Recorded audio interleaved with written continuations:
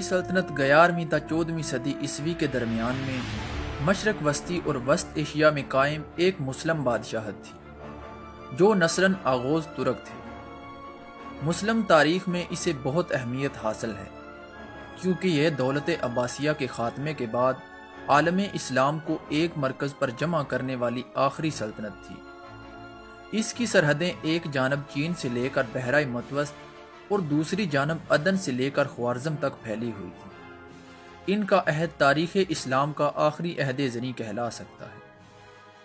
इसलिए सलाजिका को मुस्लिम तारीख में हास दर्जा व मकाम हासिल है। सलजूकियों के जवाल के साथ ही उम्मत मुसलमा में जिस सियासी इंतशार का आगाज़ हुआ, इसका फ़ायदा उठाते हुए अहलियान यूरोप ने मुसलमानों पर सलेबी जंगें मुसलत की और आलम इस्लाम के कलब में मुकद्दस तरीन मकाम बैतुलमुक़दस शरीफ पर कब्जा कर लिया। तगरल बेग सलजूक का पोता था, जबकि चगरी बेग इसका भाई था।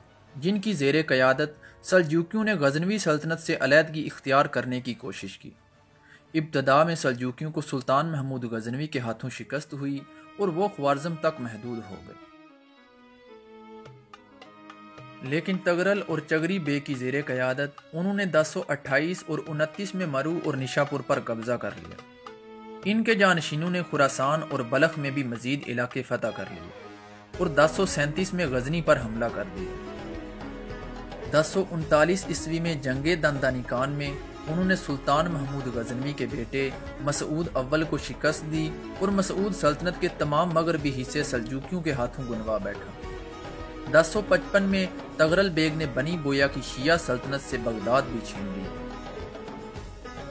तगरल बेग की वफात के बाद सुल्तान अलफ अरसलान सलजूकी सल्तनत के तख्त पर बैठे और आपने दस में अर्मीनिया और जार्जिया को भी सल्तनत में शामिल कर लिया आपके अहद हकूमत में सलजूकी सल्तनत की हदूद बहुत वसी हुई। पहले हर्रात और मावरा नहर को कलमरों में शामिल किया फिर फातमी हुक्मरानों को शिकस्त देकर मक्का और मदीना को भी अपनी कलमरों में शामिल कर लिया। इससे इस्लामी दुनिया में सलजूकियों का असर इकतदार बढ़ गया।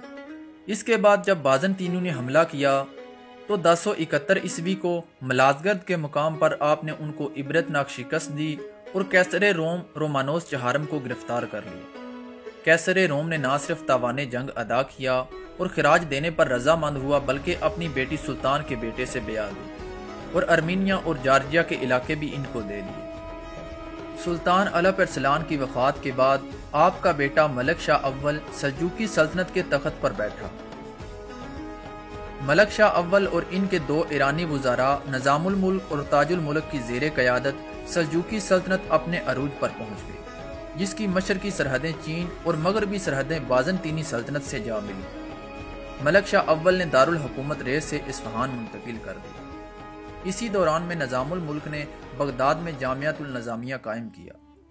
मलक शाह के दौरे हुक्मरानी को सलजूकियों का सुनहरा दौर कहा जाता है। दस सौ सतासी में अब्बासी खलीफा ने मलक शाह को सुल्तान मशरक व मगरब का खिताब दिया। मलक शाह के दौर में ही ईरान में हसन बिन सबा ने ज़ोर पकड़ा जिसके फदाइयों ने कई कई मारूफ शख्सियात को मौत के घाट उतार दिया।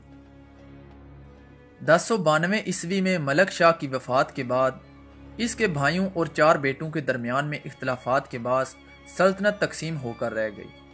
अनातोलिया में कलज अरसलान अव्वल, मलक शाह अव्वल का जानशीन मुकर हुआ, जिसने सल्तनत सलाजिका रूम की बुनियाद रखी।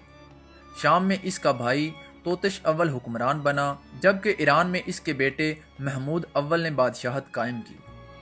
जिसकी अपने तीन भाइयों इराक में बरकयार, बगदाद में मोहम्मद अव्वल और खुरासान में अहमद संजर से तसादम होता रहा।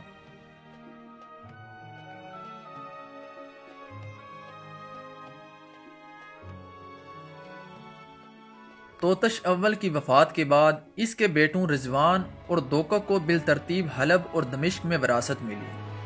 और इन दोनों की ना इतफाक़ी के बाद शाम कई हिस्सों में तकसीम हो गया, जिनमें मुख्तलिफ़ उमरा की हकूमतें थीं। ग्यारह सौ अठारह ईस्वी में सुल्तान अहमद संजर ने सुल्तान होने का ऐलान कर दिया।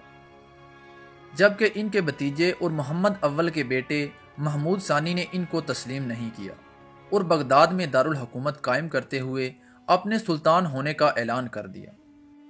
ताहम ग्यारह सौ इकतीस ईस्वी में सुल्तान अहमद संजर ने इसको हटा दिया। सलजूकी सल्तनत के सियासी जवाल के आगाज़ और मुल्क भर में फैली खाना जंगी और तवायफुल मलूकी से उम्मत मुसलमा को एक परचम तले इकट्ठा करने वाली आखिरी कुवत का भी खात्मा होने लगा।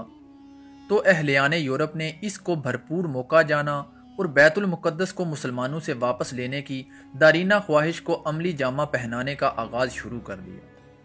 इस तरह उन्होंने सलेबी जंगों का आगाज़ किया, जो कमो बेश दो सौ साल मुसलमानों पर मुसलत रहीं।